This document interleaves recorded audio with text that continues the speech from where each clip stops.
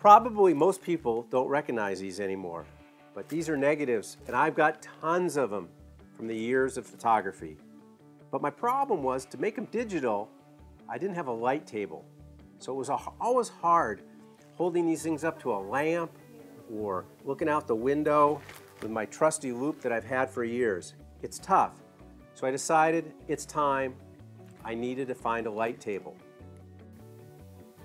The newer style and a much thinner is actually cheaper. I found this one for under $50 on Amazon. What's really amazing with this LED style is the way the light output varies as you hold down the button.